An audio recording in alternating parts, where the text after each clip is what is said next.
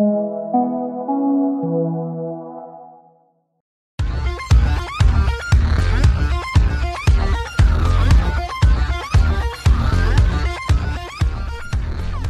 welcome back, everyone, to the fourth in our series of podcasts on gamification and virtual reality.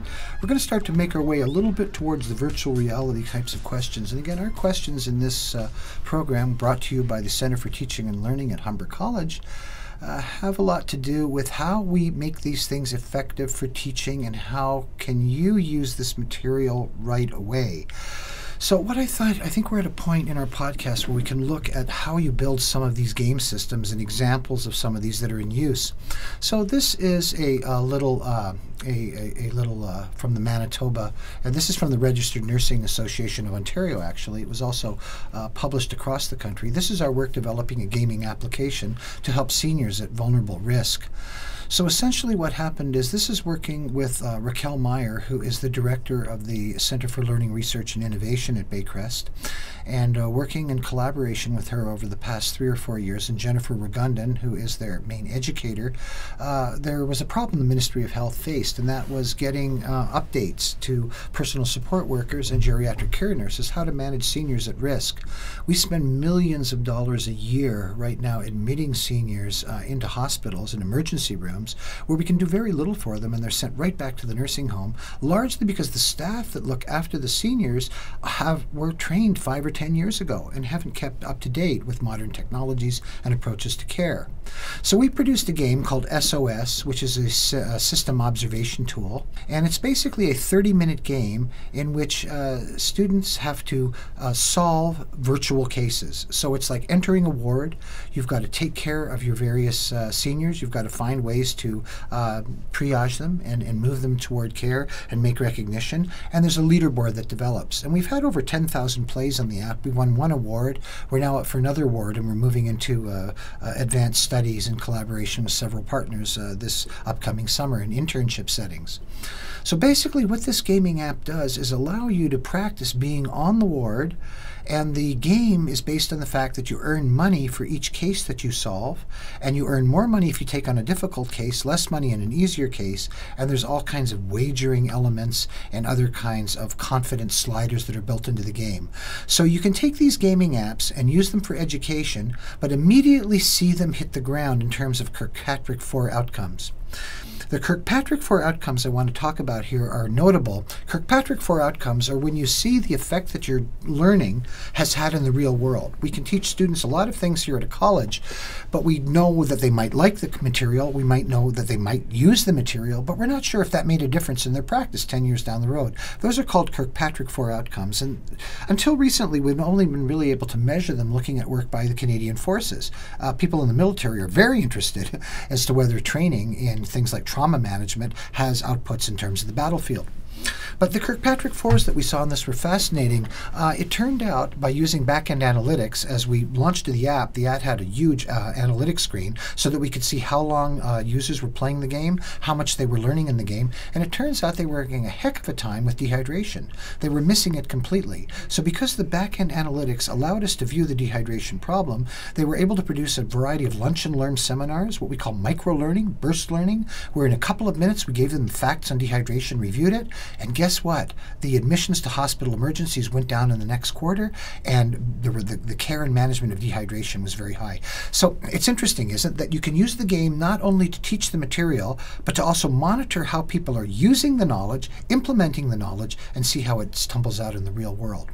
That's a great start and great hook into our material today. We're going to talk a little bit about deeper learning in games. So well, let's have a look at that right now. So what we're going to look at here, this is a, a, diagram of the role of narrative in game design, and this is developed by Andrzej Marczewski, who is again uh, ranked uh, one of the top gamification gurus in the world. Gamification Gurus is a list that's based largely on Twitter posts and retweets, and also uh, general penetration into the field. Gamification is used by over 40% of all uh, top 1,000 companies in the world, according to Gartner. Uh, it's a uh, $17.5 billion business right now. So there, there are experts in gamification around the world. We're interested in game based learning here, where we don't really use those kind of leaderboards. But this is some fantastic work that's developed by Andrzej Marczewski on the role of narrative. So human beings are stories. Yuval Noah Harari uh, in Tel Aviv is a scholar that's written two great books. One is called Sapiens, his second book is called Homo Deus, in which he talks about the role of narrative in the human condition, that we are the only creature that thinks in terms of narrative. Now, I want you to think in terms of learning as a narrative or a story. And it might be a kind of a boring story. The boring story could be, well, solve this question and you get it right. That's not much of a story. But the story could be something more complex, like walking onto a construction yard and having to get oriented to the fact that you've got inclement weather and yet you have deadlines to complete. These stories can occur in different ways. So we are human beings and we are human narratives. And what we can see is that most stories for, for human beings begin here with this call to adventure. Remember the Indiana Jones movies? Indiana Jones went off to find this beautiful kind of relic um, and and so then we have the departure, and he flies off in his plane with his pistol and his bullwhip. He's looking for the Ark of the Covenant, and he gets a little help, some new supernatural aid. They find out that uh, there's been teams digging for the uh, for the Ark of the Covenant. He then enters what's called the belly of the whale, which is some kind of difficult phase that happens. It's uh, like in a three-act play, the idea of some kind of crisis. So we cross this threshold and we enter the belly of the whale, and now we're in the initiation, which is called the Road of Trials. Um, and what we can see here is that we've, in building game systems moving forward, we'll come back to that slide in a moment, is that we used in our work in addiction medicine as the idea of recovery being a journey. And therefore, we built a game board and game system in which, by being on this journey toward abstinence or toward wholeness, you would aid in your own uh, journey toward recovery.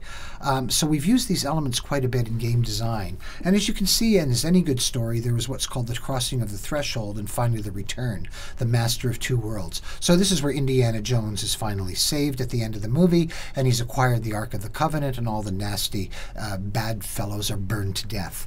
So this whole idea that we think in terms of stories. So think about game and VR development as being able to produce a story in the learning to take anything which might be an idle fact, like knowing the number of vehicle casualties that occur in Ontario per year, and trying to put that in terms of a story, trying to put that in terms of a narrative that the student can develop, these learning narratives. So this is basic to being a human being. It's basically how we frame the world. There's a center called Narrative for Narrative uh, Studies in Medicine at University of Toronto Faculty of Medicine, and one of our colleagues, Beata Pawlowski, uh, who works at the Li Ka-Shing Institute, is quite involved in this field. And this is the idea that we've learned, for example, in medicine, that if you understand what pain means to a patient and they can write it out in a few pages, you're going to treat them a lot differently than you simply write down the word has pain. Imagine the story that you could go on as a new employee working for some place like Shoppers Drug Mart or working in the tourism and travel industry, where there's kind of a story. We've been working with some students here at Humber in developing some game ideas in travel and tourism, where they have to kind of build their own little travel business, and they have to do that by being able to produce really good pitches on good travel destinations and posting the Blackboard, and then other students can review their work. So it's the idea that when you make something into a story, and that story is compelling, and the student gets to play, be a play a role in that story rather than hear you tell a story, the student is actually in the game, influencing the outcome of the story, the engagement is really complete. It's just the way human brains are set up. So, again, in our work in addiction, we looked at addiction being the cry of the soul and recovering being a journey that the patient uh, was, was on in this time.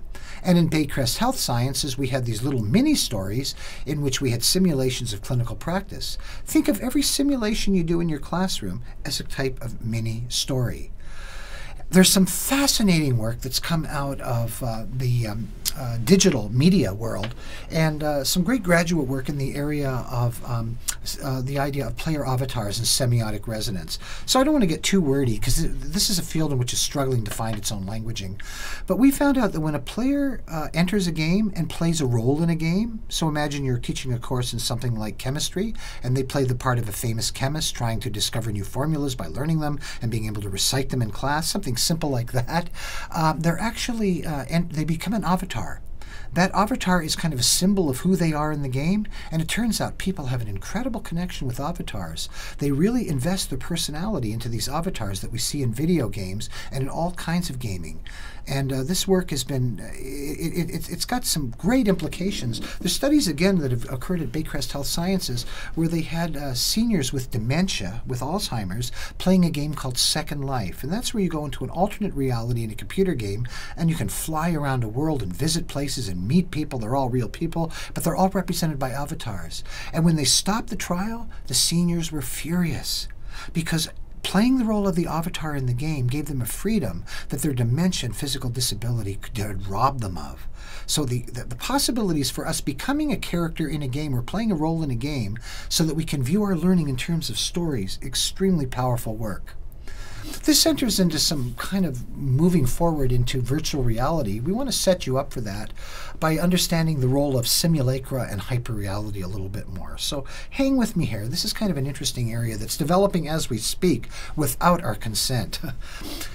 Basically, a simulacra is a sign that loses its relationship to reality. For example, the concept of making America great again, or going to visit Disneyland, or of uh, discovering, reliving that the good old days.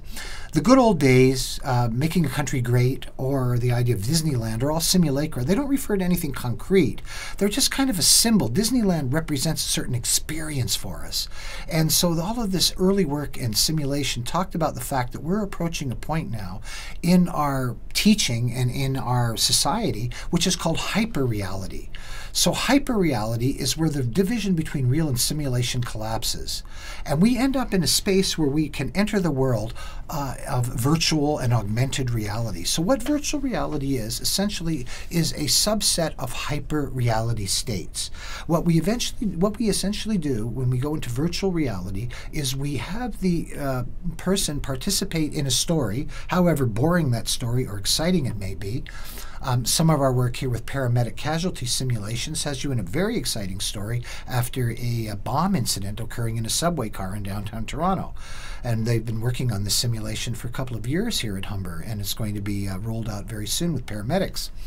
So you have a little story element, but you're not in this reality. You're in an altered reality where the rules are different and your functionality is different. So this is uh, from a, uh, a great little uh, um, featurette film that was produced by a Japanese videographer called Hyperreality. And this is the world we're going to be living in in the future, where we are going to gamify uh, that is attach different values and progress values to each of our activities. Imagine a little voice coming on your headset and saying, why don't you walk the two blocks? It'll, it'll lose 60 calories.